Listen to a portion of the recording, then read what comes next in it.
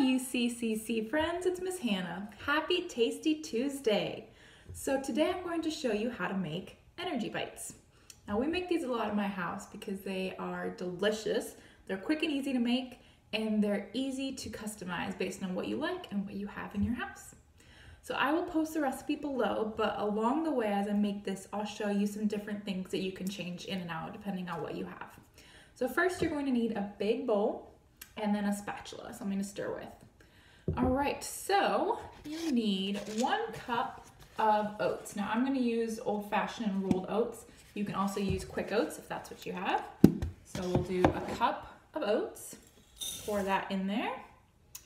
Then you need peanut butter. And if you don't have peanut butter, do almond butter, sun butter, whatever you have at your house. So for that, we're going to need a half a cup of peanut butter. We got my sticky peanut butter in there. And I'll scrape it into our bowl. All right. And then you need about two thirds a cup of coconut. If you don't like coconut, then just add a little bit more oats instead. Put that in there. Now I like to add some flaxseed. Um, it adds a lot of good healthy fats and fiber. Um, again, if you don't have that or you don't like it, no problem. Just add a few more oats to it. So for this, um, we're gonna do about half a cup. So I'll pour it in. And just remember, this is great for kids to get to do. Um, because we're not gonna be baking it, it really doesn't matter if the measurements are exact. Um, so as they they get to practice um, pouring things in and, and measuring. Got about half a cup of flaxseed. All right, and then you need some honey. So we're gonna do a third cup of honey. You can also use agave, uh, maple syrup, something sticky. So we'll pour our third cup of honey in here. Get it all out. All right, like I said, you get to customize these. So um, you could use some different kinds of dried fruit, raisins, cranberries or craisins. Uh, you can use some nuts.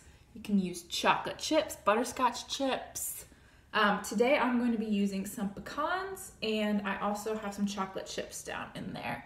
Um, it's best if you can use the mini chocolate chips. I didn't have any. Like I said, this is a very customizable recipe. So I just chopped up some of my bigger chocolate chips to make them a little bit smaller. And I chopped up some pecans. So use whatever kind of nuts or, or chips that you want. So then we have our bowl here and we're just going to stir it around. And this is gonna be a really sticky, sticky mixture. Um, so something that I really like to do with it is stick it in the fridge for about 15 to 30 minutes or so. And that makes it a little bit harder um, and it will make it a little bit easier to stir. So it's kind of coming together here. Um, and then you can get out a baking sheet or something to put these on. Like I said, we don't actually bake them, but we're gonna roll them into little balls. Still pretty sticky here. All right. It's looking good. Kind of looks like cookie dough, actually. Kind of tastes like it too. It's so good. Um, and I like keeping them in the fridge as a snack if I'm kind of hungry, you know, after a walk or um, just something to munch on. All right, so again, this is gonna be really sticky. I like putting in the fridge, but we won't wait for that.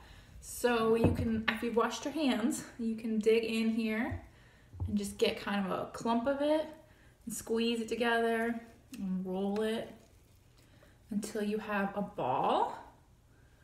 You can make them really big, you could make them really small, put them on a cookie sheet and let them harden um, in the fridge a little bit.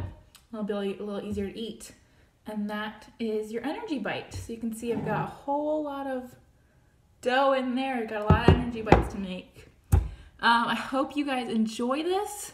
It's a lot of fun to get sticky and messy. Enjoy your Tasty Tuesday. Can't wait to see what you all come up with.